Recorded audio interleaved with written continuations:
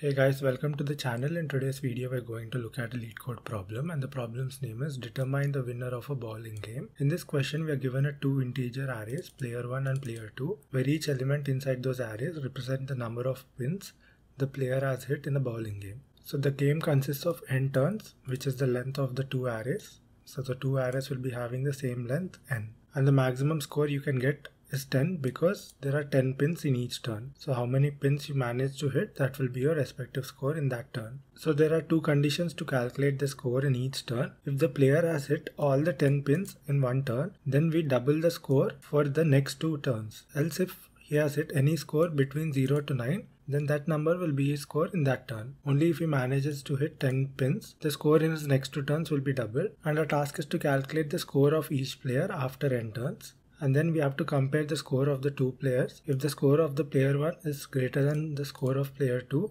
then we return 1 as the output. If the score of player 2 is more than score of player 1, then we return 2 as the output.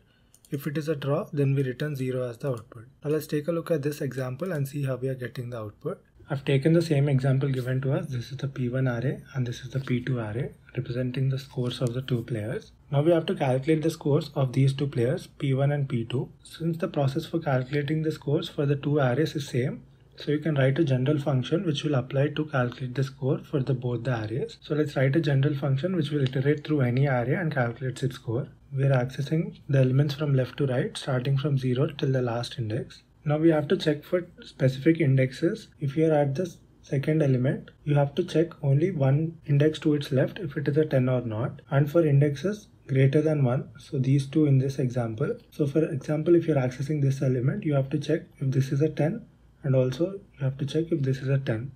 If either of them is a 10, you have to double its score. If you're accessing this element, you have to check if its previous element is a 10 or if second previous element is a 10. If either of them are 10, you have to double the current score. So we use if statements to check for specific indexes. If i is equal to 1, you write one logic.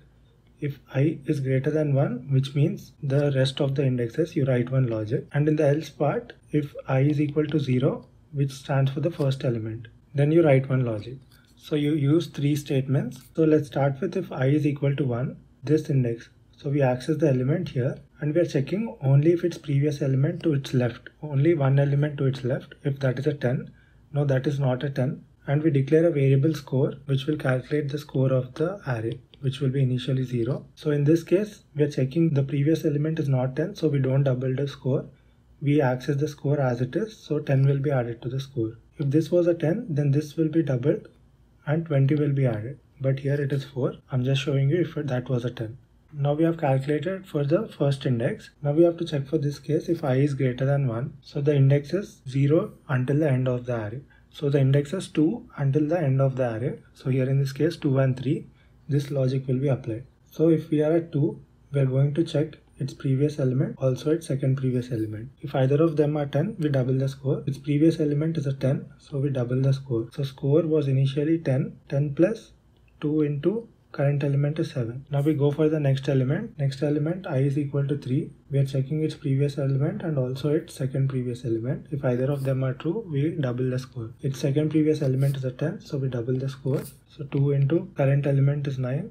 So 2 into 9. In this case, we satisfied these two indices and in the else block, it means i is equal to 0. So i is equal to 0 stands for the first element always. As that is the first element, there is nothing to check to its left. So whatever is present inside the first element will be added to score. So 4 is the first element, so it will be added as it is. Now we calculate the entire score. So the entire score is equal to 46. So this is the P1 score. Now we do the same and calculate P2 score the same way by applying these three conditions. So when you calculate P2, you'll get the score as 16. Now P1 score is equal to 46 and P2 score is equal to 16. Since P1 score is greater than P2, so you return 1 as the output. And if for other test cases, if you get P2 greater than P1, you return 2. If P1 equal to P2, you return 0.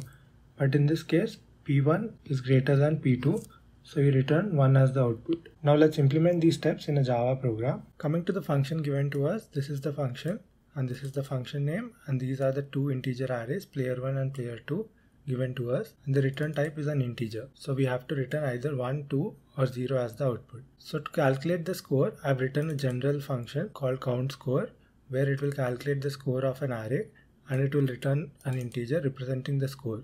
And then I'm calling this count score function for each player. So player 1 score will be counted and stored inside this variable and player 2 score will be counted and stored inside this variable. And then we can do our comparisons to return either 1, 2 or 0.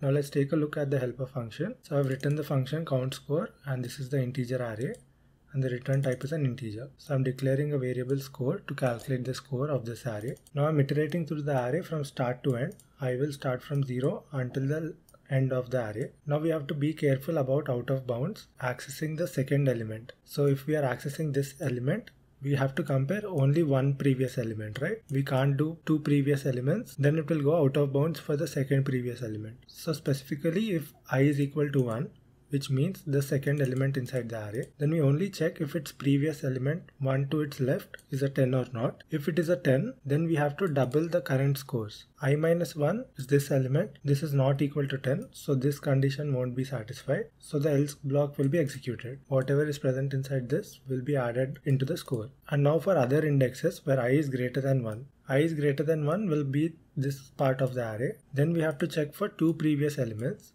so I'm checking here if the element to its left is equal to 10 so if i is equal to 2 I'm checking if this is a 10 or i minus 2 is a 10 i is this i minus 2 will be this so I'm checking if this is a 10 so if either of those two elements are 10s then I have to double the current score. So I'm doubling the current and adding it into the total score. So 2 into 7 will give you 14. So 14 will be added to the score. And in the else block, which means if i is equal to 2 and if either of the two elements are not tens then we simply add the current value 7 into the score and I'm adding that element into the score. So this is for i is greater than 1. Uh, so in the else block it means you're checking for the first element. The first element you don't have to check its previous values because there is no previous values. So you add that element's value directly into score and inside this for loop it will check for all the elements inside the array and finally, outside the for loop, I'm returning score as the output. So score will be returned for this function and I'm calling this function to calculate the player 1 score, storing it inside p1 score. Again, I'm calling the same function to calculate player 2 score and storing it inside the variable p2 score. Now I'm calculating the three conditions what to return. We return 1 when p1 score is greater than p2 score. We return 2 if p1 score is less than p2 score which means P2 score is greater than P1 score. So we return 2. And if these two conditions fail, it means P1 score is equal to P2 score. So it is a draw. So we return 0 as the output. So I'm returning 0 if those two conditions don't satisfy. Now let's try to run the code. The test cases are accepted. Let's submit the code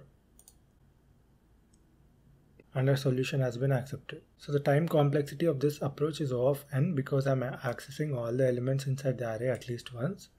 And the space complexity is O of 1 constant space because I'm not using any extra space to calculate the output except simple variables. That's it guys. Thank you for watching and I'll see you in the next video.